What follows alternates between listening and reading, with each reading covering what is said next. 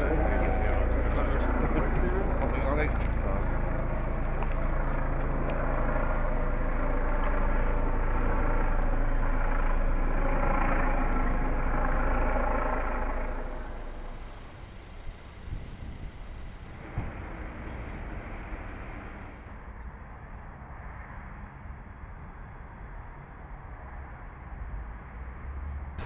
Stephen, we're at South Northumberland Magistrates Court. Why have you been here today?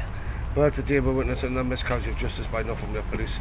The brother John Henry Sayers has been charged with a uh, conspiracy to murder. I was arrested for the crime, was also was not 10 people. Same evidence against me, me was the same against evidence against John. John's got additional evidence for being called John Henry Sayers, and he's been remanded in custody for basically.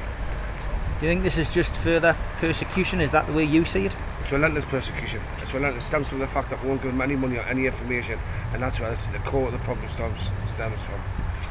You know, you both try to turn your life around, Stephen. You've been an author now for for 18 months. I know you're finding it hard, but at the end of the day, you've kept on the you've kept on the straight and narrow.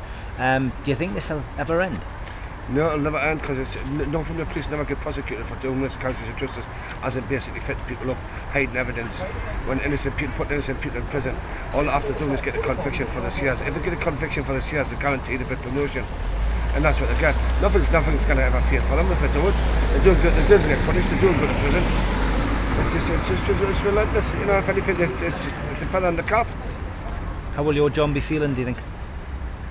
Well, everybody else. How do you feel if you got dragged on the street for a crime and then come in and put on the man? A big category yet. Eh, could be on the man for over a year now.